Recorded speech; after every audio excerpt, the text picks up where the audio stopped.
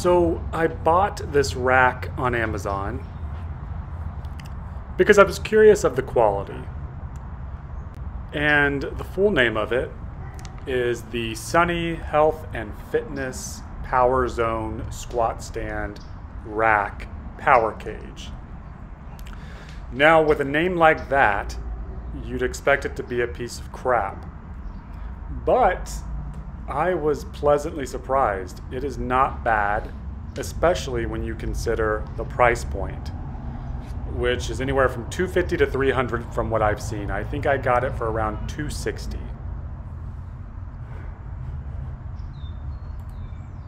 Now the hole spacing, as you can see, is not amazing. It's three inch, I believe, so three inches from one center of one hole to the center of the next hole. You can check our full written review for much more detailed information and the kind of specs overall of the rack.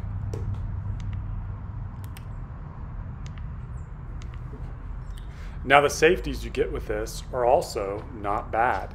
You see they've got the rubberized kind of protector that's screwed on here to protect your bar and the safeties themselves from scuffing up.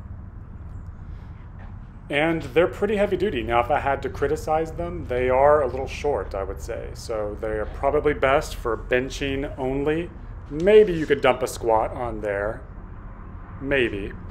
Now, it also has this locking feature. That is interesting. I've never seen that before. I could see that getting annoying and not being used. The J hooks are pretty decent for an entry level squat rack. They also have the protective screwed on kind of coating there to protect your bar and the rack from dents and dings. And they're a decent size. And of course, the great thing about this rack is that you can buy it from Amazon. So shipping was cheap, free, and quite fast at three to five days for a heavier item like this.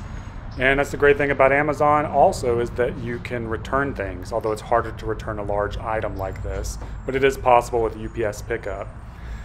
The pull-up bar was angled, and which is another great thing for an entry-level rack like this. Definitely tall enough for a person of my height, 6'2", to kind of pull from comfortably.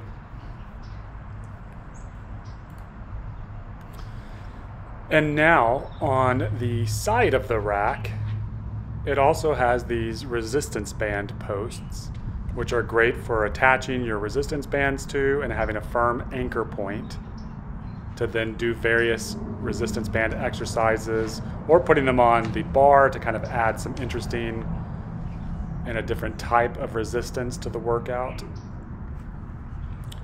It also has two weight horns on the back which are in a fantastic position to kind of not only store your weights, but also to add some extra weight and then some sturdiness to the rack, since you can easily add on, you know, several 45s back there and make the rack altogether much, much more sturdy, which is a great feature for these half racks, which are more prone to being unstable when compared to a full rack with four posts. So yeah, in summary, I think this is a great half rack eh, or at this price point. And I think if you had a little bit more budget, say, you know, 100 to $150 more, then there are some better options out there that may that can definitely hold more weight and maybe last you longer as far as the quality and just the amount of add-ons you can add to them. And the one I'm thinking about is probably the Titan half rack. You can check my website in order to kind of see more about that, or and I might also put a link in this video. But if you have a little bit more budget, that can be a great option. Now this is, for the price point, this is kind of hard to beat, especially if you don't have a lot of space.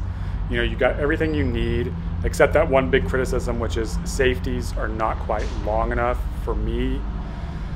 I wouldn't want to use them for squatting, but other than that, I think it's a great, fantastic option for a affordable half rack or squat stand that you can get from Amazon for free shipping and you know without having to worry about not being able to return it because you can easily return even large items with Amazon. So yeah, in summary, I'm going to give it a 4 out of 5. I think it's a great option.